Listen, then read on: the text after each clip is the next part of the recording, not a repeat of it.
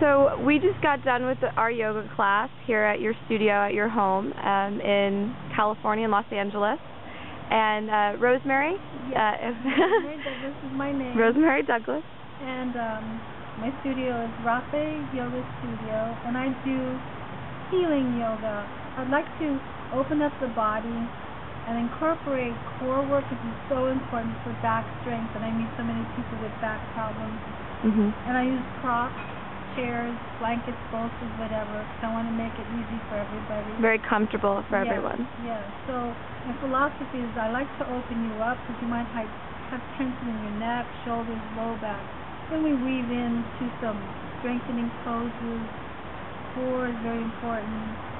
The stretching on hamstrings, tight hamstrings can make your back mm-hmm. hurt. So I like to open up the hips hamstrings, and then we. Mm-hmm. Why do you think it's important for people to do to practice yoga? Well, it's very beneficial. First of all, to get centered, calm your mind, create a flexible, strong spine. Because as we age, after the age of 20, the venous blood supply to the disc atrophies. So we need to keep bringing nutrients to the disc mm-hmm. and flush out toxins. So keep on moving, also, as we age, the respiratory system gets tight, and muscles, you need to be able to breathe. So, for flexibility, for youth, mm-hmm. vitality. What age is a good age to start doing yoga? Any age. even, even as a, a little kid, three year old, four year old. Or a kid in a womb yes. for prenatal yoga. We're already doing it. Actually, I have one mom who brings her four year old, and she copies us, and it's just so beautiful. And even to start late is excellent. There's you could start 50, 60, and we just go slow. I use chair yoga also for some of my people, special needs. I also teach prenatal.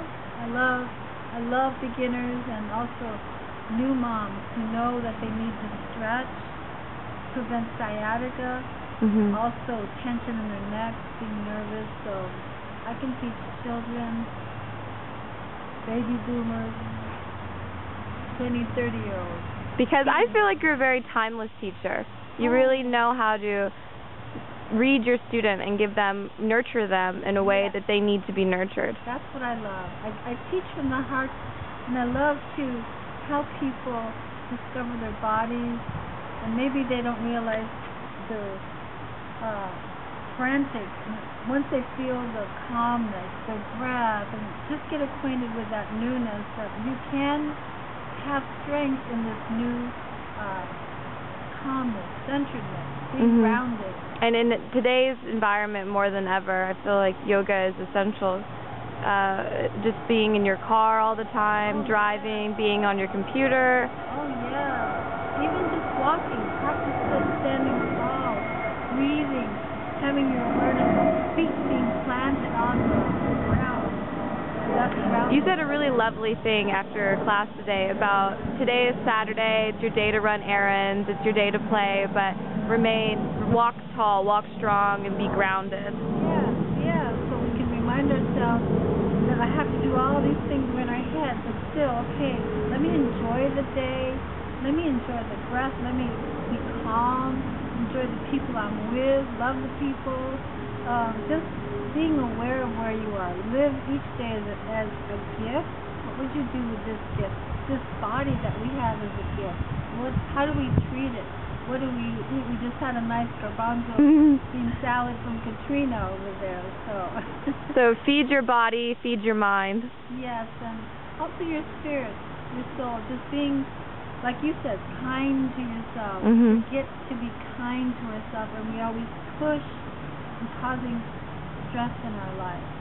And if, once we realize what stress is, how it affects us, it ages us and it kills our our cells. They retreat, and we want to keep going forward and enjoying life.